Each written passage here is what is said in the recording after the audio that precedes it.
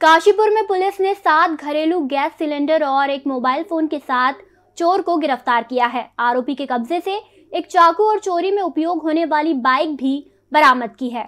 पिछले कई दिनों से ग्राम गुलजारपुर में घरों के अंदर से गैस सिलेंडरों की चोरी की घटनाएँ सामने आ रही हैं, जिसके खुलासे के लिए काशीपुर पुलिस ने सीसीटीवी फुटेज खंगालने के साथ ही मुखबिरों से जानकारी जुटाई। शुक्रवार सुबह वाहन चेकिंग के दौरान पुलिस ने एक बाइक सवार को रुकने का इशारा किया तो वो भागने लगा। पुलिस ने पीछा कर उसे पकड़ा तो उसके कब्जे से चोरी किए हुए सिलेंडर और चोरी का एक मोबाइल फ़ोन बरामद किया।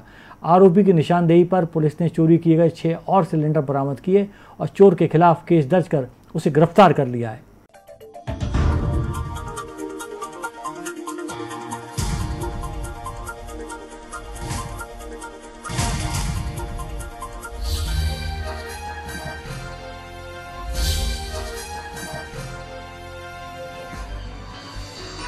आप देख रहे हैं दखल न्यूज़।